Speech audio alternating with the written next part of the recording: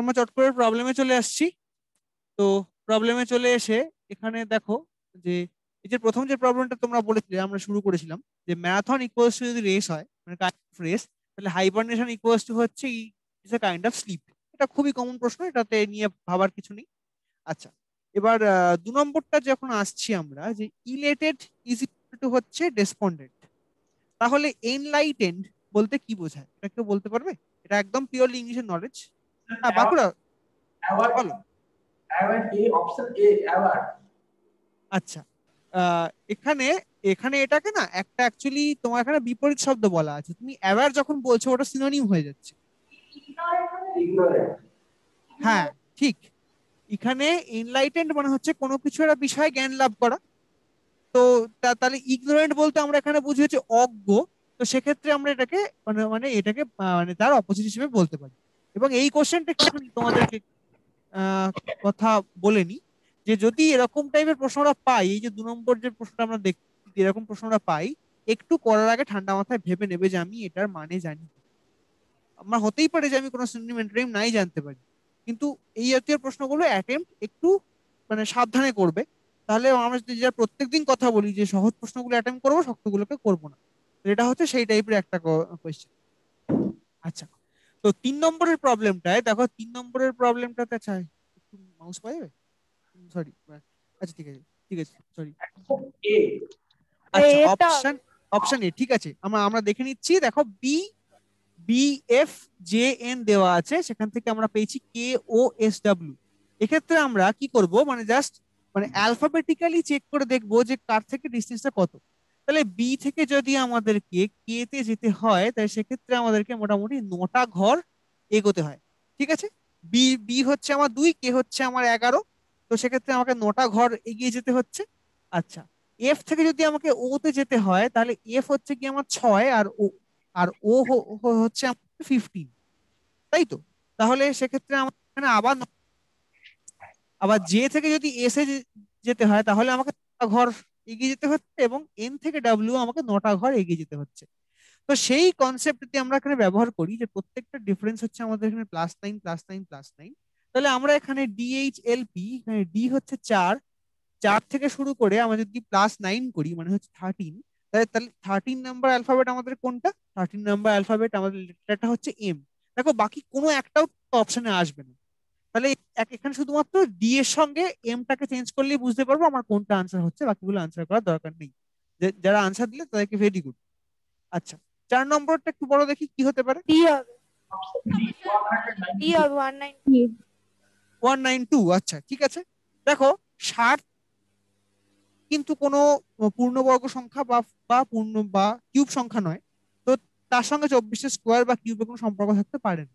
তাহলে এক্ষেত্রে আমাদের কি করতে হবে? যখনই আমরা কোন রকম স্কোয়ার বা কিউবের গল্প পাচ্ছি না বা চব্বিশে স্কোয়ার করে বা কিছু একটা করে ষাটের কাছাকাছি পৌঁছতে পারছি না, তখন আমাদেরকে কি করতে হয় না? প্লেন ডিভাইড করতে হয়।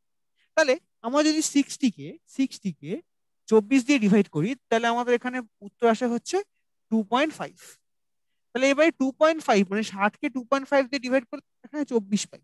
তাহলে ফোর এইটটি কেউ আমাদেরকে টু পয়েন্ট ফাইভ দিয়ে ডিভাইড করতে হবে। ফোর এইটটিকে যদি আমরা টু পয়েন্ট ফাইভ দিয়ে ডিভাইড করি তাহলে আমাদের এখানে কিন্তু আনসার আসবে হচ্ছে অপশন ডি মানে ওয়ান নাইনটি টু কারা আনসার দিলে? ভেরি গুড মানে জাস্ট পাতি একটা প্রবলেম মানে শুধু হচ্ছে আমাদের এখানে সিক্সটিকে আমরা যে নাম্বার দিয়ে ডিভাইড করছি, এখানে আমরা ফোর এইটটিকেও ঠিক সেই নাম্বারটা দিয়ে ডিভাইড করব।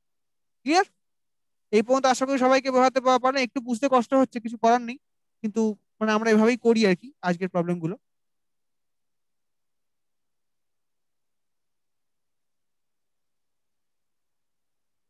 আচ্ছা। এটাও এখান থেকে করতে পারব। এখানে বলছে find the odd one out এই সবকটা থেকে আমরা একটা করে অড ওয়ান আউট বের করতে হবে। তাহলে এখানে বলছে হ্যাঁ মালদা থেকে বলো। অপশন বি হবে। আচ্ছা ঠিক আছে দেখে নিচ্ছি।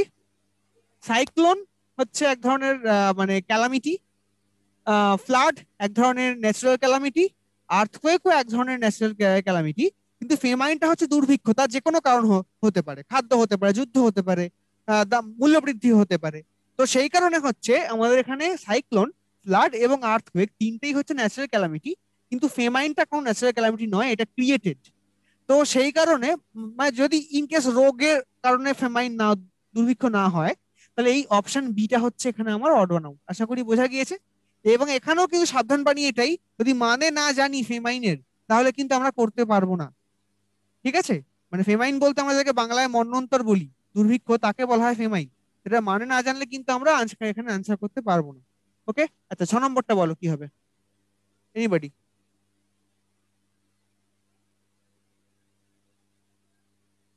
এবং এই ছ নম্বরটা করতে গেলে আমরা দেখবে যখন ক্লাস শুরু করেছিলাম প্রথমে একটা কথা বলতাম যে এক থেকে পঁচিশ পর্যন্ত স্কোয়ারটা পারলে মুখস্থ রাখবে এবং এক থেকে দশ পর্যন্ত কিউবটা মুখস্থ রাখতে হবে। তবে কিন্তু এই ছ নম্বরের উত্তরটা আমরা করতে পারব।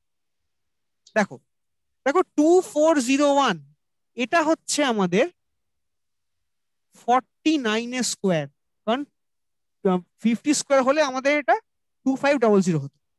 টু ফোর জিরো ওয়ানটা হচ্ছে ফর্টি নাইনের স্কোয়ার ফর্টি নাইনটা এখানে হচ্ছে সাতের স্কোয়ার আর থ্রি ফর্টি থ্রিটা এখানে হচ্ছে আমাদের সাতের কিউব আমি যদি খুব ভুল না করে থাকি, তাহলে টু ফোর জিরো ওয়ানে আমরা একটা স্কোয়ার পাচ্ছি টু ফর্টি নাইনে আমরা একটা স্কোয়ার পাচ্ছি থ্রিতে আমরা একটা কিউব পাচ্ছি। মানে আমরা তিনটে এমন নাম্বার পেলাম, যারা, যাদের মধ্যে একটা স্কোয়ার অথবা একটা কিউব আমরা খুঁজে পাচ্ছি। কিন্তু ওয়ান ফর্টি না তো কোনো কিউব। না to the power four maximum to the power four পর্যন্ত আমরা মুখে মুখে হিসেব করতে পারি। তারপরে আমরা পারব না। তো এর মধ্যে কোনোটাই আমরা সেই সম্পর্কে আসতে পারছি না। তাহলে এই ক্ষেত্রে ওয়ান ফর্টি নাইনটা হচ্ছে আমাদের একটা মানে মানে এই যে কটা নাম্বার দেওয়া হয়েছে, তাদের মধ্যে একটা অর্ডার বোঝা গেছে? বাঁকুড়া ক্লিয়ার হয়েছে? আসানসোল? কল্যাণী কোনো ডাউট থাকলে বলবে। কারণ আজকে ডাউট হতেই পারে।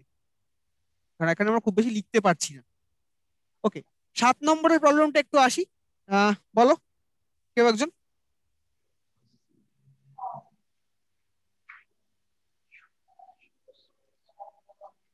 অপশন বি আচ্ছা দেখে নিচ্ছি আমরা।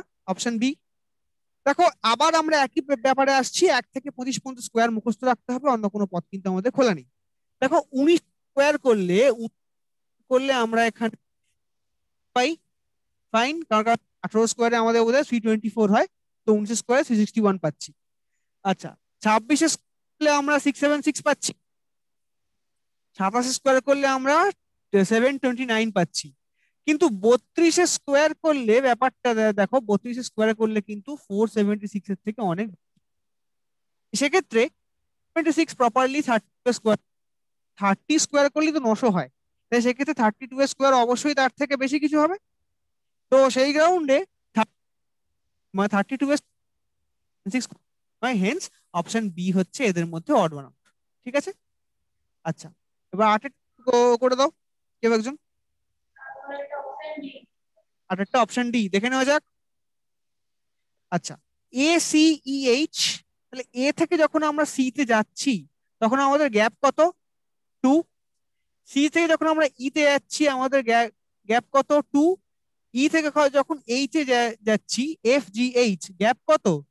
থ্রি ওকে এম থেকে যখন ও তে যাচ্ছি গ্যাপ কত? টু ও থেকে কিউ যাচ্ছি গ্যাপ কত?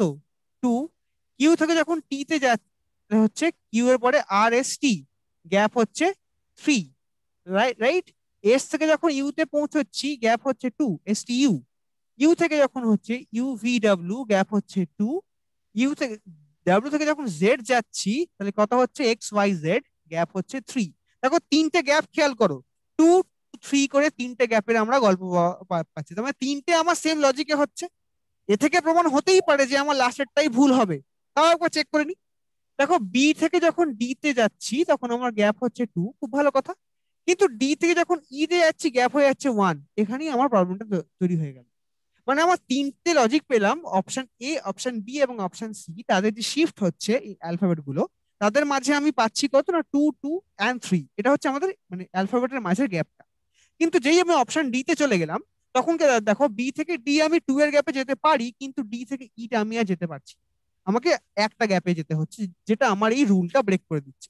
তো সেই গ্রাউন্ডে আমি বলতেই পারি যে হেন্স অপশন ডি হচ্ছে আমার এখানে অর্ডার আউট আশা করি বোঝাতে পারলাম? এনিবডি কারোর কোনো প্রবলেম থাকলে বলবে, আমি রিপিট করব। কারণ এখানে হাতের লেখা বুঝতে পারার কথা নয় তোমাদের। আচ্ছা পেরেছি আমরা নেক্সট শিফট করছি।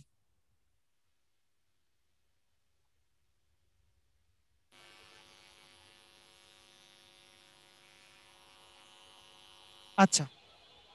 এবারে এখানে নয় এবং দশ, কেউ একটু ট্রাই করো। বলছে in the following series how many F N U occur in such a way that N is in the middle and F and U are adjacent to it on both sides তাহলে দেখো এবার। তাহলে আমাকে আগে প্রথম বাংলা কথা হচ্ছে F N you কটা আছে? এটা আগে আমাকে খুঁজে বার করতে হবে। তারপরে আমি অন্য কথায় যাব। তাহলে এফ এন ইউ এখানে কটা আছে? এখানে এফ এন ইউ এ দেখো এফ এন ইউ আছে একটা আবার এফ এন ইউ আছে দুটো আবার এখানে এফ এন ইউ আছে তিনটে। তাহলে এবারে প্রশ্ন হচ্ছে যে এফ এন ইউ এর ক্ষেত্রে মানে N is in the middle and F N U are adjacent to it on the both sides এরকম সংখ্যা কতগুলো হবে?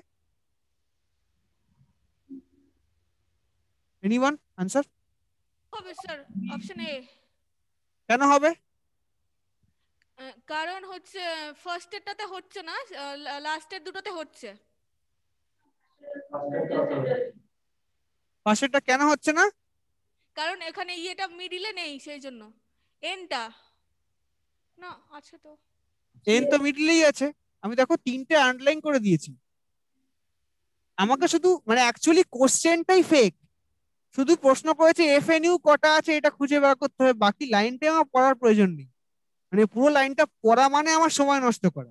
এবং এই কারণে অঙ্কগুলোকে আইবির পরীক্ষায় দেওয়া হয়। বিরাট বিরাট অঙ্ক আসে আর ছোট ছোট রিজনিং আসে। এবারে বিরাট বিরাট অঙ্ক করে তুমি ওই একই অভ্যেসে বড় অঙ্ক ভাবে ব্যাপারটাকে পড়তে যাবে। এবং পড়ে দেখবে যে তুমি যা পড়লে পুরোটা, পুরো অঙ্কটা তোমার ভুল পড়লে। এইটা হচ্ছে আইবির কোশ্চেনের মজা।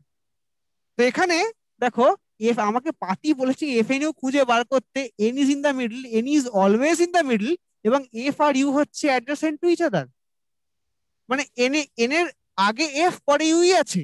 তাহলে এখানে এফ এন ইউ তে এন এর আগে এফ পাচ্ছি পরে ইউ পাচ্ছি।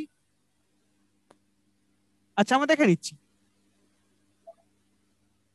আচ্ছা এবারে দেখো মানে এফ এন ইউ তে এফ আগে আছে ইউ পরে আছে আবার এফ এন ইউতে এফ আগে আছে ইউ পরে আছে। কিন্তু আমরা একটা লাইনকে মিস করেছি।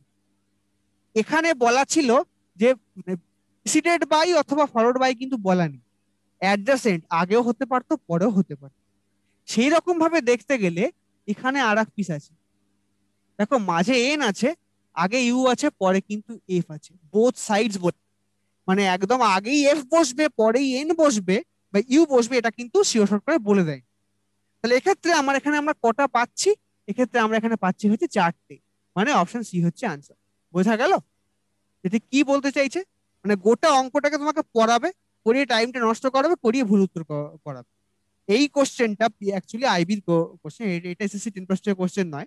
এবং এটা এই জন্যই চেনানো যে বড় বড় অঙ্ক আসে কিন্তু রিজনিং আসে খুব সহজ এবং ছোট। এবং এবং এইগুলো হচ্ছে তার একটা মানে নমুনা। পরেরটা আনসার করো। পরেরটা কিন্তু পিওরলি বায়োলজিক্যাল লজিক থেকে আমাকে করতে হবে।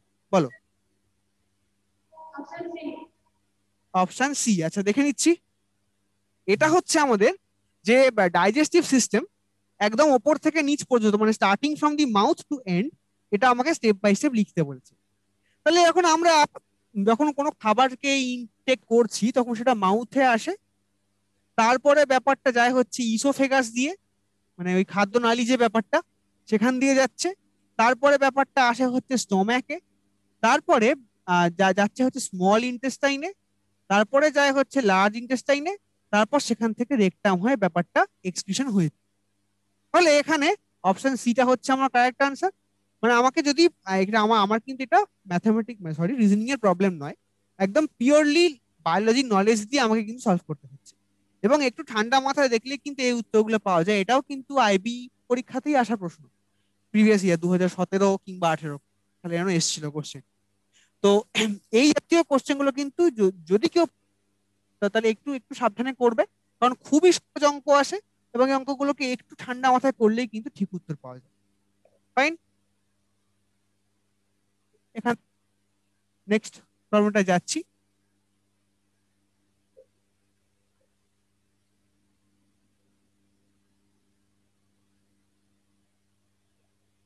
আচ্ছা এখানে বলছে ফাইন দ্য মিসিং টার্ম চারটে, তিনটে মিসিং টার্ম দেওয়া আছে, চার নম্বরটা আমায় খুঁজে বের করতে হবে। বলো, কি হবে?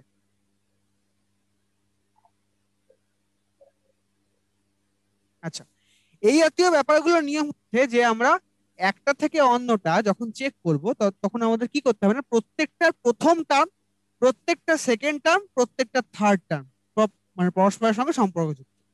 এইভাবে আমরা স্টেপ বাই স্টেপ এগিয়ে যাব। তাহলে এ থেকে যখন আমরা ডি যাচ্ছি এ থেকে যখন আমরা ডি যাচ্ছি, আমাদেরকে কত ঘর যেতে হয়? তিন ঘর, তিনটে স্টেপ আমাকে যেতে হবে বি সি ডি আবার যখন ডি থেকে জি যাচ্ছি তাহলে কত হতে পারে? ইএফ e, জি তাহলে আমাদের তিন ঘর গেলাম। তাহলে এখানে জি থেকেও আমরা এখানে তিন ঘরই যাব।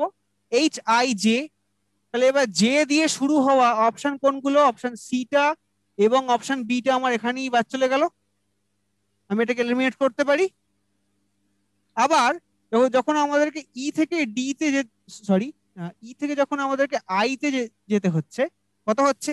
জি এইচ মানে চার। আবার যখন আই থেকে এম এ যেতে হচ্ছে জে কে এল এম মানে আবার চার তাহলে এম থেকে যখন আমাদেরকে পরেরটা যেতে হবে কত হতে পারে? এন ও পি কিউ তাহলে এখানে হতে পারে জে কিউ তাহলে এক্ষেত্রে এখানে অপশন এটাই হচ্ছে আনসার স্যার বুঝলাম না এটা। আচ্ছা দেখো এ ইআর e দেওয়া আছে ডিআইটি দেওয়া আছে জিএমপি দেওয়া আছে। আমাকে চার নম্বরটা খুঁজে বার করতে হবে। এখানে সম্পর্কটা আমরা তৈরি করব কীভাবে? যে এ থেকে ডি এর ডিস্টেন্স কত? ডি থেকে জি এর ডিস্টেন্স কত? সেই লজিক মেনে ফোর্থ টার্মটার ফার্স্টে আসবে। আবার ই e থেকে আই এর ডিস্টেন্স কত? আই থেকে এম এর ডিস্টেন্স কত? এবং সেম লজিক মেনে এম এর থেকে তত ডিস্টেন্স মেনেই ফোর্থ টার্মের সেকেন্ড পার্টটা আসবে। অ্যান্ড লাস্ট পার্ট আর থেকে টি এর ডিস্টেন্স কত? থেকে ভি কত? এবং ভি থেকে পরেরটা মানে এক্স্যাক্টলি সেইভাবে আসবে। মানে প্রত্যেকটা গিভেন টার্মের ফার্স্ট পার্ট সেকেন্ড পার্ট এবং থার্ড পার্ট পরস্পরের সঙ্গে সম্পর্ক বোঝা গেল? মানে ইন্ডিভিজুয়াল সম্পর্ক চেক করছি না কিন্তু যে এ থেকে ই কত ই থেকে আর কত, বা ডি থেকে আই কত আই থেকে টি কত, এইভাবে কিন্তু করছি না। প্রত্যেকটা টার্মের ফার্স্ট পার্টের সঙ্গে সম্পর্ক আছে, প্রতিটা টার্ম টার্মের সেকেন্ড পার্ট সেম সম্পর্কে আছে, প্রত্যেকটা পার্টের থার্ড টার্ম সেম সেম সম্পর্কে আছে। সেই লজিকটা মেনে আমরা ট্রাই করছি, যেখানে আমরা কীভাবে সামনের দিকে এগোবো। বোঝা গেল? পারলাম বোঝাতে? ফাইন তাহলে অপশন এটা হচ্ছে আমার এখানে আনসার এখানে দেখো জে আর কিউ পেয়ে গেছি, তাই আমাকে লাস্ট পার্টটা করতেও হবে না, আমি অপশন ডিটাকে এমনি বাদ দিয়ে দিতে পারি। নেক্সট বারো নম্বরটা বলো।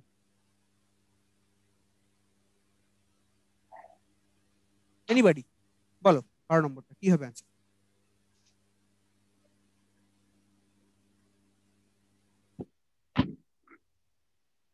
আচ্ছা আমি ক্লু দিচ্ছি।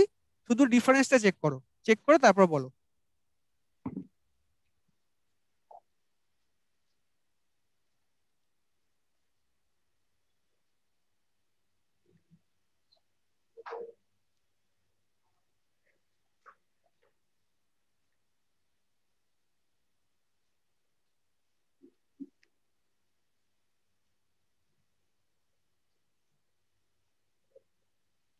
আচ্ছা ঠিক আছে। এগারো। স্যার অপশন সি হবে ফোর ফোর থ্রি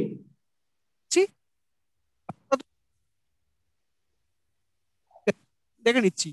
ইলেভেন থেকে থার্টি এইট ডিফারেন্স কত? টোয়েন্টি সেভেন থার্টি এইট থেকে একশো দুই ডিফারেন্স কত? Sixty four if I am not wrong তাই তো কাকুরা? একশো দুই থেকে টু টু সেভেন ডিফারেন্স বোধ হয় ওয়ান, টু, ফাইভ। তাই তো? তাহলে দেখো ডিফারেন্স কিন্তু একটা করে কিউব আট মানে টু কিউব সাতাশ মানে থ্রি কিউব সিক্সটি ফোর মানে four cube one two five মানে ফাইভ কিউব তার মানে পরের ডিফারেন্সটা একশো সাতাশ থেকে অবশ্যই আমাকে সিক্স কিউব হবে। বারবার করে বলা যায় যে আমাকে এক থেকে দশ পর্যন্ত কিউব মুখস্থ রাখতে হবে আদারওয়াইজ কিন্তু আমি অঙ্কটা পারব, সময় লাগবে। তাহলে সিক্স কিউব এখানে কত হচ্ছে? সিক্স কিউব হচ্ছে টু ওয়ান সিক্স ঠিক তো? তাহলে ফোর ফোর থ্রি সিক্স কে? Answer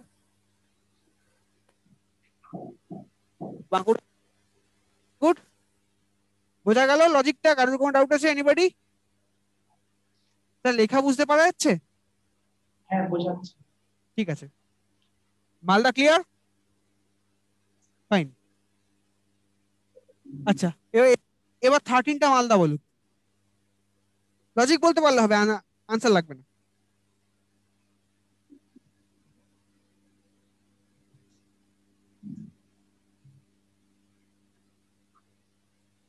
বা করলেই ট্রাই করুক।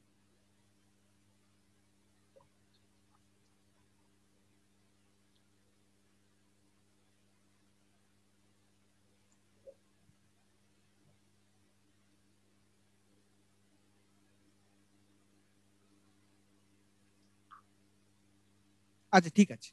যখন আচ্ছা আমি একটা এক্সাম্পল মানে একটা ক্লু দিচ্ছি। যদি পাশাপাশি সম্পর্ক না হয় পাশের বাড়ির পাঁচিল টপকে তার পরের বাড়ির সঙ্গে সম্পর্ক স্থাপন করতে হয়। এটা আমরা শিখেছি। যদি পাশের অঙ্কের সঙ্গে সম্পর্ক না মেলে আমি তারপরের নাম্বারটা চেক করতে পারি। এবার দেখো তো হয় কিনা।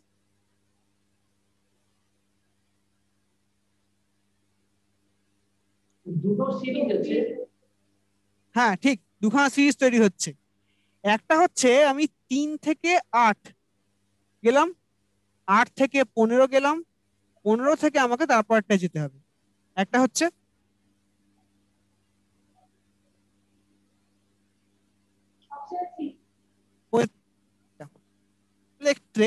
তিন থেকে আট যখন যাচ্ছি, আমি এখানে পাঁচের গ্যাপ পাচ্ছি, আট থেকে পনেরো পাচ্ছি, সাতের গ্যাপ পনেরো থেকে পরেরটা আমি অবশ্যই পাবো হচ্ছে নাইনের গ্যাপ তাহলে এক্ষেত্রে আমি এখানে টোয়েন্টি ফোর করতে পারি। এবার আমার সিরিজটা আদৌ ঠিক আছে কিনা মিলিয়ে নিই। পনেরো থেকে চব্বিশ করলে আমি এখানে নাইনের গ্যাপ পাই। চব্বিশ থেকে পঁয়ত্রিশ করলে আমি এখানে এগারোর গ্যাপ পাই। পঁয়ত্রিশ থেকে যদি আমি এগিয়ে যাই থার্টিন তবে আমি ফর্টি থ্রি পাই। তার মানে আমার সিরিজটা ঠিক ছিল। তাহলে এক্ষেত্রে আমার যদিও সেকেন্ডটা চেক করার প্রয়োজন নেই ফার্স্ট সিরিজ দিয়ে আমার এখানে অঙ্ক হয়ে যাচ্ছে। তাহলে এখানে আমার থার্টিনের আনসারটা হচ্ছে টোয়েন্টি ফোর মানে হচ্ছে অপশন কার কার বুঝতে প্রবলেম আছে বলো? মালদা ক্লিয়ার বাঁকুড়া তো তুমি তো আনসার দিয়েইছো ঠিক আছে? আচ্ছা আসানসোল ক্লিয়ার ঠিক আছে। কল্যাণী একটু হাত তুলে বললেও হবে ক্লিয়ার ঠিক আছে। আচ্ছা থ্যাংক ইউ তাহলে আমরা পরেরটা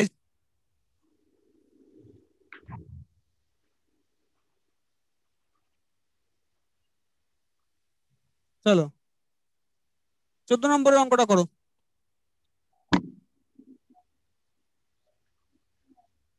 এটা প্লেন ব্লাড রিলেশনের অঙ্ক আছে। এটা ওই কোন একটা সালে দু হাজার চোদ্দ না পনেরো সালের আইবি পরীক্ষার কোশ্চেন এসেছিল।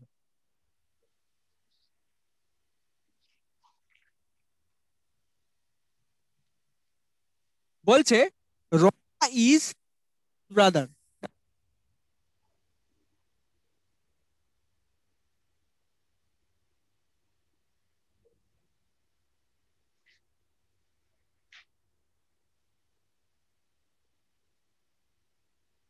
আচ্ছা। হীরা ইজ সাল্লুত সিস্টার্স ওয়ান তাহলে সাল্লুর একটা এখানে সিস্টার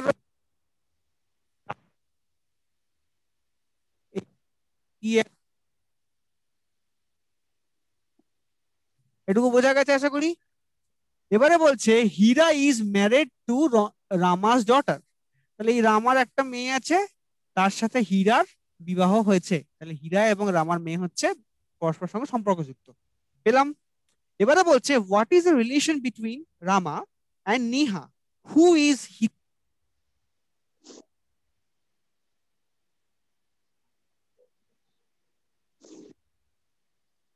এবারে প্রশ্ন করছে যে রামা এবং নিহার মধ্যে সম্পর্ক কি? এটা কি উত্তর ডি হবে ডি ডি হবে কেন? কেন রামার মেয়ের সাথে হীরা হীরা বিয়ে করেছে তো হ্যাঁ তো রামা এবং নেহার মধ্যে সম্পর্ক জানতে চেয়েছে। হ্যাঁ তো রামার রামা এখানে পুরুষ। গ্র্যান্ড ফাদার হবে। রামার হ্যাঁ। নেহা হলো হীরার ছেলে হীরার মেয়ে তাহলে ওটা গ্র্যান্ড ডটার আর গ্র্যান্ড মাদার হচ্ছে। মাদার কোথ থেকে হচ্ছে? রামা রামা কি? রামার জেন্ডার কি আছে? ও সরি সরি সরি সি হবে সি সি হবে স্যার সি থ্রি চলে যাবে। রামা, এখানে দেখো জেন্ডার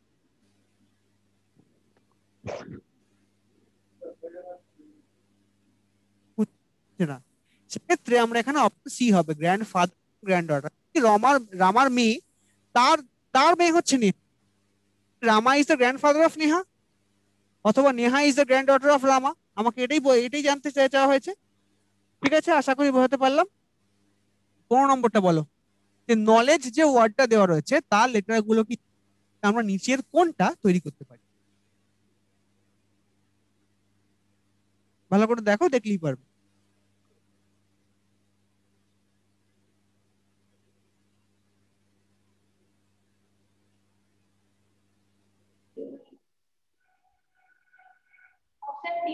অপশন বি এবং সি অপশন বি এবং সি তৈরি করতে পারি পারি না নয় পারি। পারি can be form sir Malda থেকে অপশন ডি আচ্ছা ঠিক আছে। দেখো প্রথমটায় ওয়ান ডার আছে আর মধ্যে এখানে এটাকে আমি পাচ্ছি না।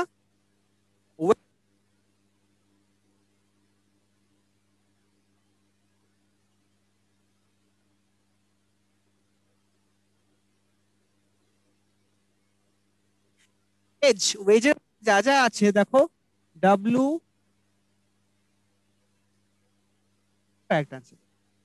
ঠিক আছে? বাঁকুড়া বা কি বলছি? এই যে ক্যান বি ফর্ম আর ক্যান নট বি ফর্ম এই ব্যাপারটা না খুব চট করে চোখের আড়াল থেকে বেরিয়ে যায়। মানে পেন অ্যান্ড পেপার কোশ্চেন এতদিন হতো, কিন্তু এখন সব পরীক্ষাই তো প্রায় অনলাইন তো সেক্ষেত্রে একটু সাবধানে করবে, কারণ ক্যান ক্যান আর ক্যান নট বিটা একটুখানি গন্ডগোল হয়ে গেলে কিন্তু ভুল হয়ে যাওয়ার সম্ভাবনা থাকে। ঠিক আছে? আ- আশা করি আমরা এটাকে বোঝাতে পারলাম। কারণ নেই তো? ওকে ফাইন ঠিক আছে। চলো পরেরটা যাওয়া যাক।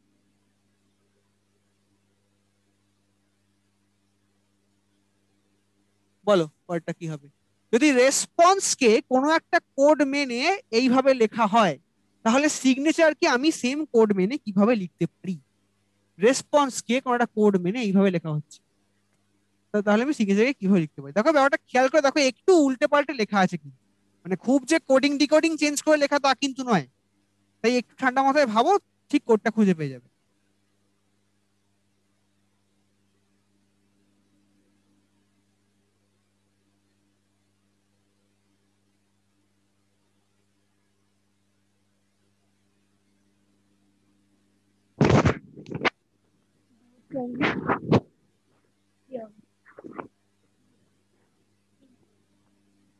মালদা থেকে অপশন সি আচ্ছা ঠিক আছে দেখে নিচ্ছি। অপশন বি স্যার আচ্ছা আমরা একটা অপশন বি পেলাম একটা অপশন সি পেলাম ওকে আচ্ছা ঠিক আছে আমরাই দেখছি চলো চিন্তা করার কিছু নেই। একটু টাইম দাও আমাকে লিখতে সময় লাগবে। আচ্ছা এখানে দেখো এখানে সবার প্রথমে এই রকম যখন লজিকের অঙ্ক করব আমাকে গুনতে হবে যে ব্যাপারটাতে কি আছে। মানে নাম্বার যদি আমার ইভেন্ট থাকে, আমি মাঝখান থেকে ভেঙে দেবো। এবার অর থাকলে আমাদের আগে কি নিয়ম ছিল? যে আমরা ব্যাপারটাকে তোমার মানে মাঝখানটাকে ইকুয়াল রেখে বাকি দুটোকে ডিফারেন্ট করতে পারি। কিন্তু এটার ক্ষেত্রে একটা অদ্ভুত মজা, আমরা এটাকে একটা অন্ধভাবে ভাঙি। দেখো, এখানে এখানে কটা আছে? এক, দুই, তিন, চার, পাঁচ, ছয়, সাত, আট, নটা আছে নম্বর অফ অ্যালফাবেট তাহলে এখানে রেসপন্স আর এস এটাকে আমি ডিফারেন্ট করি। পি ও আর এন এটাকে আমি ডিফারেন্ট করি, আর এস ই এস এটাকে আমি একটু ডিফারেন্ট করি। তাহলে প্রথম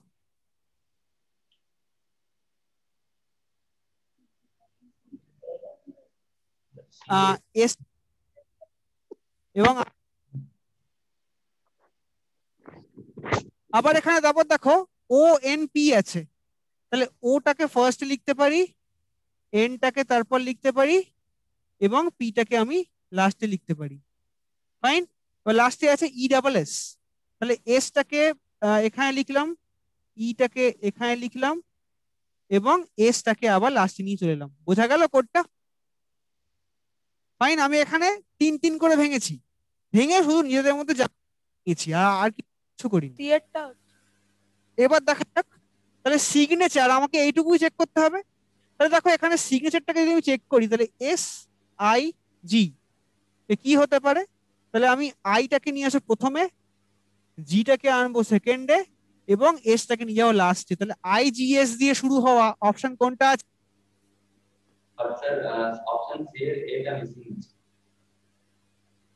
ঠিক আছে? তাহলে একমাত্র অপশন সি আমার আমার আইজিএস দিয়ে শুরু হচ্ছে বা- বাকিটা আমার ফলো করে যাবে? মিলিয়ে নিচ্ছে কি বলছো? এর অপশনের মধ্যে এটা অমিট রয়েছে। আচ্ছা আচ্ছা তো মানে এটিইউ এই এই সরি এন এনএটি এই ব্যাপারটা এখানে তোমার হবে হচ্ছে এনটা চলে যাবে লাস্টে এটা আসবে আগে, আর তারপরে আসবে টিটা। ঠিক আছে? মানে আমার এখানে এক- একটা ওই- অপশন টাইপ করতে ভুল এখানটায় এখানে ওই মানে আইজিএস এর পরে একটা এ হবে। তাহলে ব্যাপারটা ঠিক মনে হচ্ছে। ঠিক আছে